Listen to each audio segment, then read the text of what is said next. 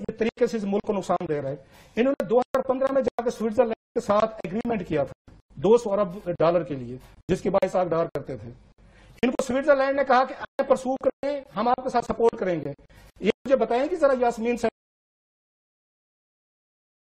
کہ انہوں نے ان سے کوئی بات کی ہے؟ ان سے پہلے جو یہاں چیئرمین رہے، پاشا صاحب سے، وہ تارک پاشا صاحب تھے۔ اور تارک پاشا صاحب کا کام دیکھے کہ ٹوبیکو کمپنیز کے انٹرسٹ باز کرتے رہے، کیونکہ بھتیجا کام کر رہا تھا ٹوبیکو کمپنی میں۔ ٹوبیکو میں ان سے پوچھیں کہ آپ لوگ تین سال ہو گئے سوئٹزرلینڈ کے ساتھ ٹیک اپ کیے ہیں چیزیں سوئٹزرلینڈ نے آپ کو خود کہا کہ آئیں آپ نے کیسز ان کو بنا کے دیے آپ نے پرسو کیے کوئی لیگل چیزیں کی کوئی کیسز گئے نکالنے کی کوشش کی اگر ٹو ہنڈریڈ بلین ڈالر نہیں بھی تھا میرے صاحب پانچ ارب ڈالر، دس ارب ڈالر، بیس ارب ڈالر، چلو میں کہتا ہوں نکل آتے، آپ کو ایمنسٹی چور ڈاکوں کو دینے کی ضرورت تھی۔ اس سے پہلے کہ آپ کسٹم والی وہ ایکسکلوسیو ڈیٹیلز بتائیں، میں دو چیزیں صرف ایڈ کر دوں کہ یہ کوئی محبت میں یہاں پہ پیسے واپس نہیں ایمنسٹی میں دے رہے۔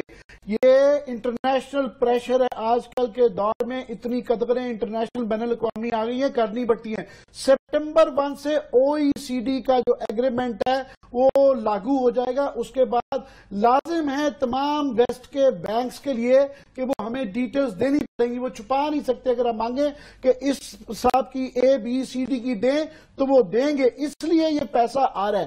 پیسہ لانے کا طریقہ کیا ہے کہ آپ کی دہشت ہو اگر نہیں دیں گے تو پکڑ لیں گے۔ ہاں، وہ دہشت ان کی آلریڈی جا چکی ہے آلریڈی یہ فیل ہو گیا ہے۔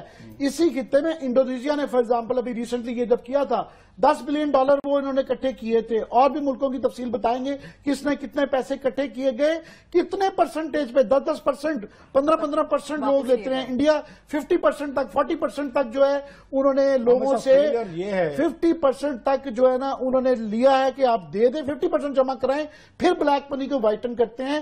اتنا کچھ دینے کے بعد اسکینڈلس طریقے سے جو کر رہے ہیں پھر بھی تھری ہنڈریڈ ملین کیونکہ ہمارا فارن ریزروز کا کرائسس ہے۔ ہمیں اس وقت ٹھیک ہے مان لیتے ہیں ہمیں ڈالر چاہیے ہیں وہ علیحدہ وجوہات بتا سکتے ہیں کہ کیوں ہے فلانا ہے چھوڑ دیں۔ ضرورت ہے ایمرجنسی کا بہانہ کر کے آپ جو ہے فائنینشیل آپ کٹھے کتنے کر رہے ہیں؟ تین سو ملین یہ تو کوئی مذاق ہے عامر صاحب یہ جب یہاں پہ جہاں سے نو بلین یہ آپ کسٹمز والے بتائیں نا تفصیلات جہاں سے نو بلین گیا ہے وہ نہیں بتا رہے۔ آپ خبریں یہ آ رہی ہیں کسٹمز اور ایف بی آر ناکامی دیکھیں۔ نائن بلین ڈالرز انہوں نے گرین چینل کے ذریعے ابیوز کروائے ہیں۔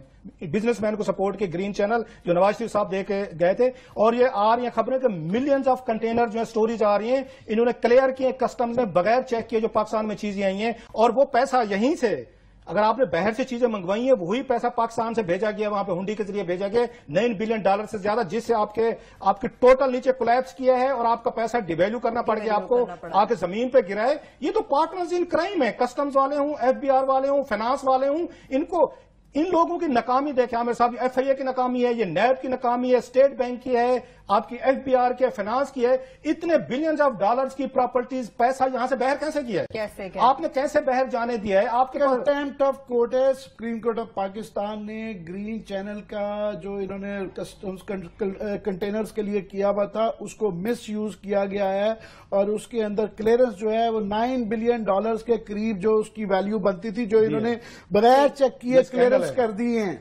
ٹھیک ہے کلاس صاحب اس پہ آتے ہیں ذرا مجھے بریک کی جانے جانا ہوگا ایک چھوٹی سی بریک کی جانے بڑے بریک سے واپس آ کے گفتگو کا سلسلہ یہیں سے آگے بڑھے گا اور یہ بھی آپ کو بتائیں گے کہ اب نیب نے احد چیما فواد حسن فواد کے بعد کون سے بڑے طاقتور بیوروکریٹ کو پنجاب کمپنی اسکینڈل میں طلب کر لیا ہے اور پروگرام مقابل معصوم بہن بھائیوں کی کس طرح سے آواز بنائی بریک کے بعد یہ بھی آپ کو بتائیں گے ہمارے ساتھ رہیے